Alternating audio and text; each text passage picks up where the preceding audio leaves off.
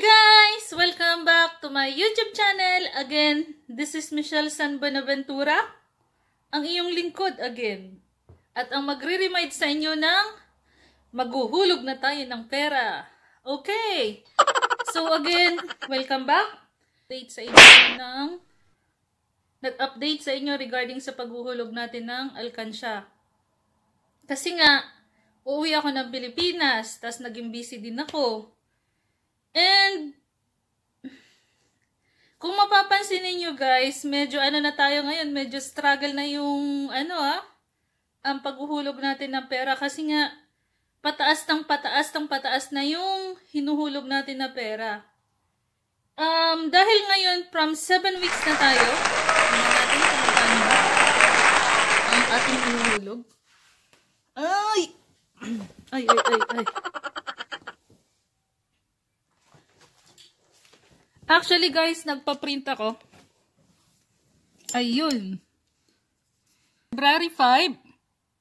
So dapat ang dapat na ihulog natin is 60 dirham. Tapos nung 7 week natin February 12, 70 dirham. Okay po. So again, February 12, eh, anong petsa na ngayon? Ba? Ganon po ako ka-consistent guys sa pag-update ko sa inyo. Ito po lahat ng listahan para hindi ko siya makalimutan. Yun. Okay guys. Sana po nakapaghulog na kayo. Ay, isi-share lang po ako sa inyo. Nakita niyo yung pinakita ko kanina, yung pinaprint ko. Yung pinaprint ko na yun, um, sa mga Indian printing dito sa Sarja. Nung tinanong niya kami, bakit miss, para saan daw to? Para saan daw yung ano na yun? Para saan daw? Um, nung narinig niya about saving money, alam mo guys, alam niyo, alam niyo, alam niyo? Ano siya? Hindi siya nagdalawang isip na mag kasi may nakita siya na alkansya silang binibenta. Alam mo guys, ang ginawa niya, kinuha niya kaagad. Binili niya kaagad, sinabi niya kaagad dun sa amin niya na kukunin niya yung, um, kukunin niya yung alkansya. Actually, ipapakita ko sa inyo. So, sana sa susunod ma-interview ko siya. Nax artista, diba? so, again guys, please, kahit hindi ko po kayo na nare-remind about sa paghulog ng alkansya, kindly hulog po ng pera. So, alam ko mabigat mabigat pabigat ng pabigat na hanggang pabigat ng pabigat na yung paghuhulog natin ng angkal, al, sa alkansya kasi nga lumalaki na rin yung amount natin. So, kung makikita nyo, itong challenge na to is hindi po siya ganun kadali. So, kailangan natin ng, um, paano ba?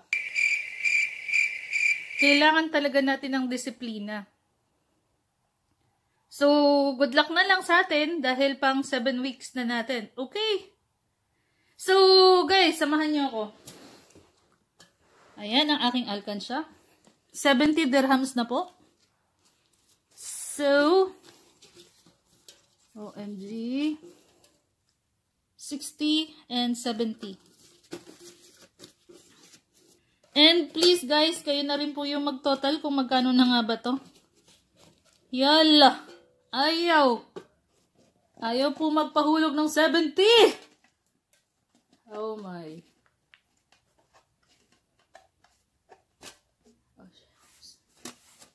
Grabe. Ayaw po magpahulog. Ayan. Yung kuko ko baka maputol.